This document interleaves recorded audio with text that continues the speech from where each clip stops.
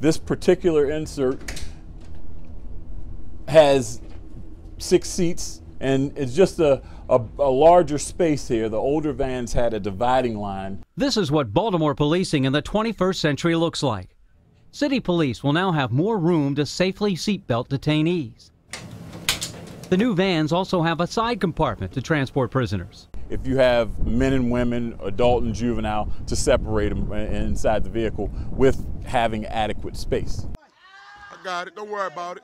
The police in custody death of Freddie Gray prompted the City Board of Estimates to authorize spending $200,000 to improve van safety.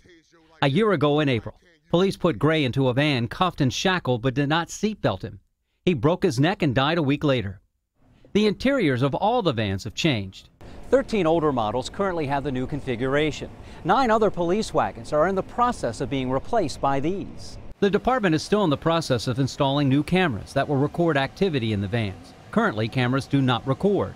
There are two cameras on the interior of this, one in the back corner here and one in the front corner here uh, that captures the interior of the van.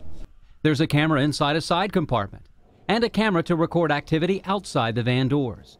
The material will be stored on a cloud for at least four years. The person that's driving the van will have a monitor here with a split screen that gives you a visual of all four cameras. The new cameras automatically turn on and run continuously. It's not anything that the drivers or any officers able to manipulate. Van changes are part of a larger effort to build more accountability into policing. City police are equipping officers with body cameras.